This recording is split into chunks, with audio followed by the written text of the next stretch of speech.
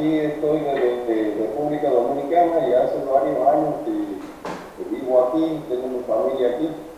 Este, sí, todos preocupados también con el tema que, nos toca, ¿sí? el tema de la pandemia. Pero tranquilo porque, bueno, estamos en una etapa de cuarentena. El gobierno ha dispuesto eh, distanciamiento social, que también por las noticias sé que en Argentina este, se está llevando a cabo. Y hasta ahora es la única respuesta aparentemente que tenemos hasta que se encuentre la vacuna, así que todos tenemos que tratar de, cumplir con esta condición.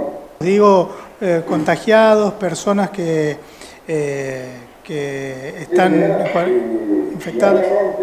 Por la mañana se hacen las informaciones oficiales, el ministro de Salud el que tiene, el que aporta esos datos.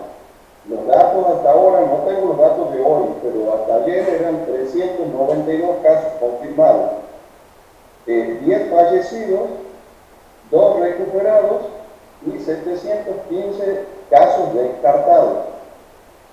Anoche, entre las medidas que anunció el presidente, eh, es que van a entrar unos centros de atención exclusivos para el tratamiento de los casos.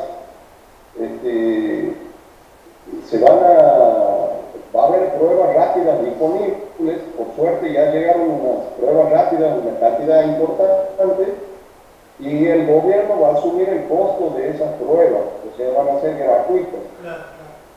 Especialmente para los mayores de 59 años y para las personas que tengan dos con más síntomas de la enfermedad. Esas pruebas gratuitas. Este, bueno, se van a, van a, están llevando alimentos a las personas más necesitadas, a las personas que hacen trabajo este, informal, digamos, no tienen otros ingresos. Entonces, el gobierno, a través de un sistema de solidaridad, eh, intenta llevar, acercar la mercadería casa por casa.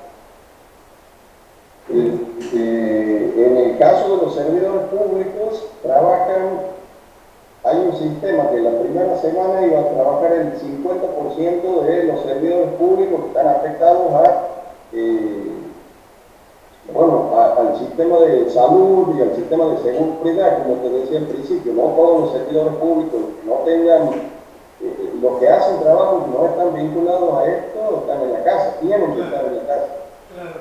El, resto, el resto se ha repartido, un 50% trabaja en la primera semana y el 50% de empleados trabaja la segunda semana.